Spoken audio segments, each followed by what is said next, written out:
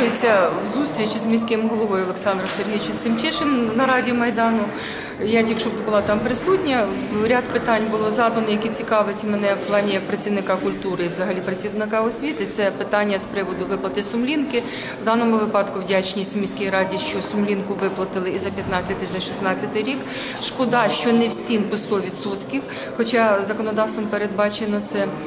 І на майбутнє хотілося б, щоб ця сумлінка не запізнювалась на рік чи на два. Це перше питання, яке я задавала. Е, Друге, це е, пропозиція все-таки впровадити.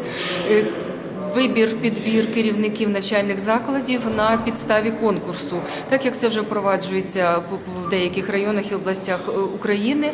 Е, Таку пропозицію обговорювали на громадській раді при управлінні освіти міста, і така пропозиція буде нами виноситись на департамент освіти. Ну і ще одне питання, яке хвилювало мене і хвилює, це будівництво. На території Хмельницької дитячої музичної школи, яке громада вже відстежує починаючи з червня місяця. Будівництво, яке самочинне будівництво, практично самозахват. І ми знаємо, що е, впроваджується вже відкрите кримінальне провадження. Ми знаємо, що наше ДАБІ подало до суду по виплаті штраф, штрафних санкцій які повинен виплатити забудовник за те, що зніс і зламав історичну пам'ятку. Ми знаємо, що на сьогодні ДАБІ е, вже другий тур має проходити по виплати цих штрафів. Це вже тому, що забудовник подав на апеляцію.